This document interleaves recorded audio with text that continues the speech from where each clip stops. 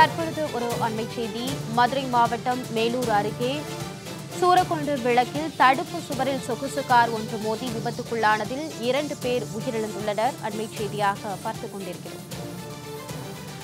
மேலும் இது குறித்த கூடுதல் விவரங்களுடன் செய்தியாளர் துரை இணைக்கிறார். துரை இந்த விபத்திற்கான காரணம் என்ன?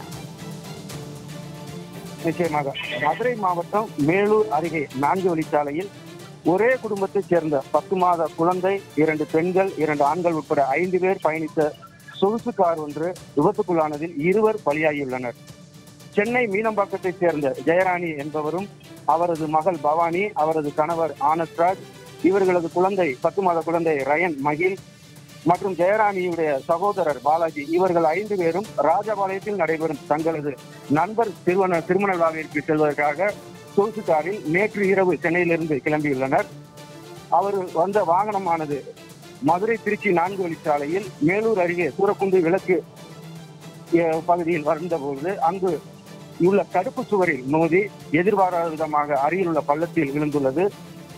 இதில் பார்த்தீங்கன்னா ஐவருக்குமே காயம் ஏற்பட்டுள்ளது. உடனே தகவல் அறிந்து அங்கு வந்த மேலூர் காவல்துறையினர் இவர்களை மீட்டு நூத்தி எட்டு ஆம்புலன்ஸ் மூலமாக மேலூர் அரசு மருத்துவமனைக்கு சிகிச்சைக்காக அனுப்பி வைத்தனர்.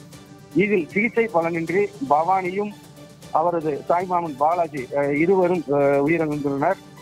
மற்ற அந்த ஜெயராணி குழந்தை ரயன்மகில் ஆனந்த்ராஜ் இவர்களுக்கு சிறிய காயங்கள் ஏற்பட்டுள்ளது. மேலும் பார்த்தீங்கன்னா அந்த ப- விபத்து நடந்த பகுதி வந்து ஒரு அஹ், பாலம் புதிய பாலம் கட்டும் பணியானது நடைபெற்றுக் கொண்டிருக்கிறது. இந்த பாலம் நடைபெறுகிறது என்பதற்கான அஹ், எச்சரிக்கை பலகைகளோ எதுவும் இல்லாததான் இந்த விபத்து நடைபெற்றதற்கு காரணம் என்று கூறப்படுகிறது. ஒரே குடும்பத்தை சேர்ந்த இருவர் அஹ், கார் விபத்தில் உயிரிழந்தது. அந்த பகுதியில் பெரும் சோகத்தை ஏற்படுத்தியுள்ளது.